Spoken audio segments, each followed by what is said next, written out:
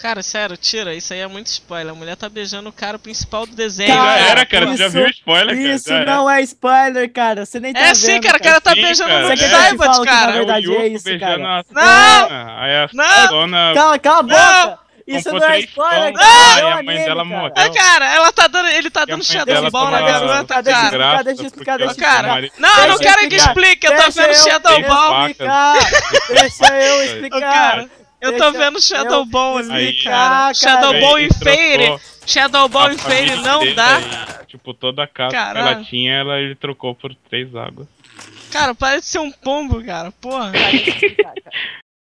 Essa garota, cara, aqui no caso, essa Tânia, Não, tu vai me dar spoiler, Da Tony, cara, pô. é como se fosse, porque eles se conheciam no passado. E, é- e é, tipo, se essa garota tava imaginando, porque, tipo, se, a- se ela fosse mais próxima do Yuta, isso aconteceria, tipo, não é uma coisa que aconteceu, entendeu, caralho?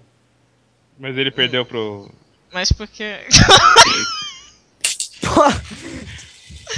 Não é spoiler, cara, é só uma a imaginação da Satânia, cara. É só uma Tá bom, imaginação. Tá bom, tá bom. Não Não é tá bom. spoiler, porra. Porque ele quer que você Tá bom. Entendeu? Mas por que ele tá dando Shadow Ball em feira e não pega? Cara, eu odeio o fato. Sério, se você um dia entrar numa discussão cabeça comigo com essa imagem, eu não vou conseguir discutir com você. do pombo.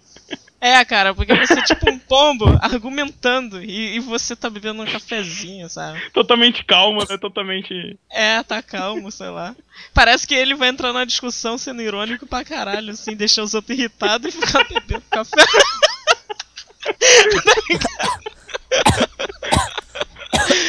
Caralho. O cara tá totalmente por dentro do assunto.